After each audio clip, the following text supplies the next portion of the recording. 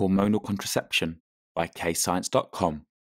And the first contraceptive we're going to talk about is the pill.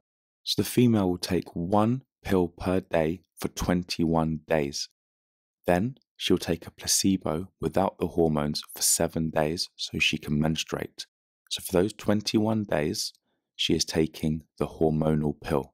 And for the rest of the seven days, she needs to be able to menstruate so she comes off the pill. Taken properly, this method of contraception is 99% effective in preventing pregnancies. The pill will prevent a pregnancy. However, it does not prevent sexually transmitted infection transmission. It will not prevent you from getting or transmitting STIs because bodily fluids are still exchanged during sex. So the combined pill contains progesterone and estrogen. So, what does the estrogen do that is in the pill? Well, the estrogen goes to the pituitary gland. And what estrogen does is it inhibits FSH prematurely.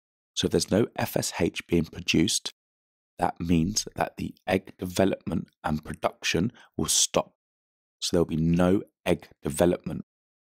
So, remember, high estrogen levels will stop FSH. So, what will happen then is that there'll be no egg development as there'll be no FSH being produced. So, there'll be no egg development. So, therefore, there'll be no ovulation of an egg to get fertilized. So, therefore, no ovulation will mean that there's no egg. So, that means a sperm will not be able to fertilize something that isn't there. The progesterone works differently to the estrogen. The progesterone is going to cause a thick mucus to line the cervix. So, when a man ejaculates into the vagina, the sperm will find it very difficult to enter the uterus from the vagina. This prevents the sperm from fertilizing the egg. It's question time. Attempt these questions to check your understanding.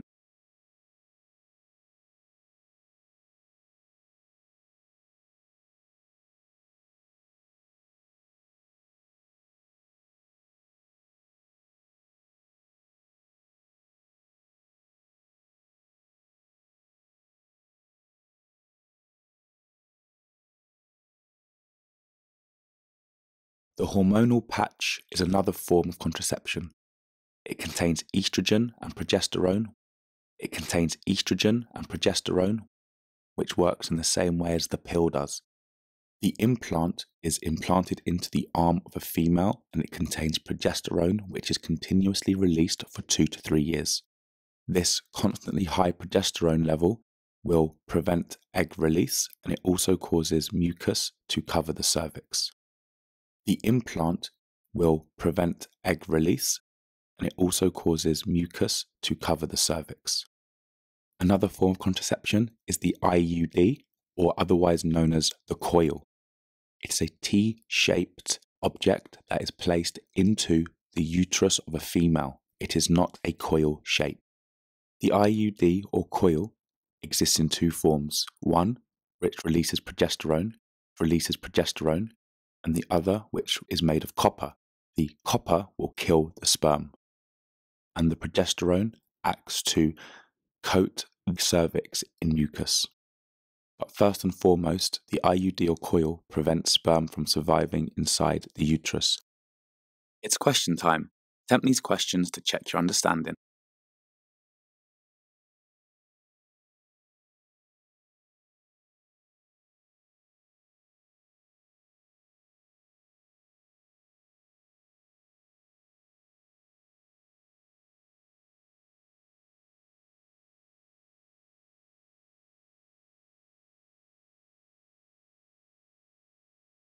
Press pause to practice using those key words. The answers will follow. Press pause to go through your answers and make any corrections to your mistakes. Press pause to answer the questions. The answers will follow. And if you're stuck, just rewatch the video. Press pause to go through your answers and make any corrections to your mistakes. Visit kayscience.com for more free videos, worksheets, and quizzes at kayscience.com. And don't forget to like and subscribe.